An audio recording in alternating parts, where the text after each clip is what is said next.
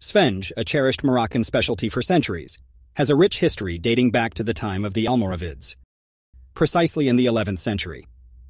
It is mentioned in the book Morocco and Andalusia in the time of the Almoravids, where the writer highlights that Sfenj was primarily prepared in the bustling markets of that era, known for its circular shape and golden color.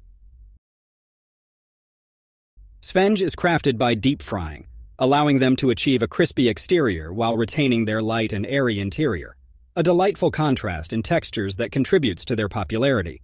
They are often enjoyed hot and freshly made, enhancing their already delicious flavor. Whether for breakfast or special occasions, Sfenj is an integral part of Moroccan culinary art. Until next time,